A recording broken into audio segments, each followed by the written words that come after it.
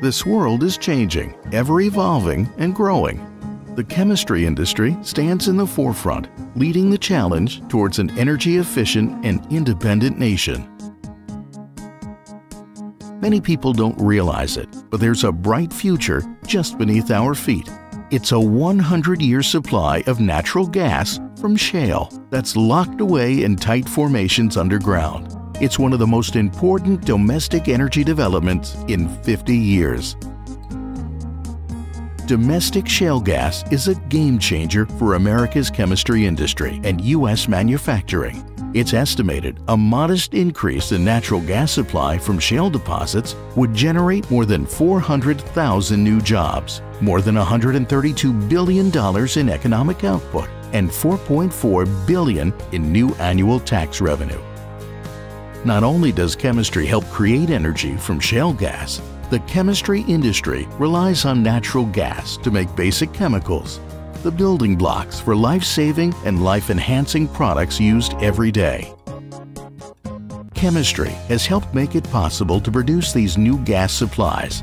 But even more important, chemistry is utilizing this natural gas to spur an American manufacturing renaissance. Abundant natural gas means more affordable electricity for factories, businesses, and homes. The products of chemistry save energy by improving energy efficiency, from powering our TVs to lighting and heating our homes, to propelling our vehicles, to living our lives chemistry innovations enable the sustainable technologies that are revolutionizing the way we generate and store energy. From solar cells to wind turbines, even rechargeable batteries, the list goes on. Increased use of products derived from chemistry would reduce greenhouse gases. A groundbreaking study found that products of chemistry save twice the greenhouse gas emissions than are emitted from producing or manufacturing the products.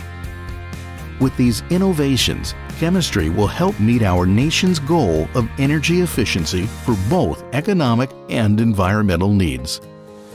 Given our nation's need to control energy costs and improve energy security, one non-traditional source of energy can expand the diversity of America's energy supply. That source is plastics.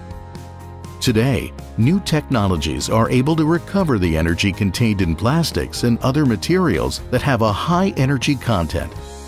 These products can be converted to electricity, synthetic gas, fuels, and recycled raw material for new plastics and other products of chemistry. Energy recovery is rapidly becoming viewed as another source of clean and renewable energy chemistry is helping to fulfill the energy needs of tomorrow, whether it's deep underground, high in the sky, or in our backyard. Chemistry is the key to our energy security.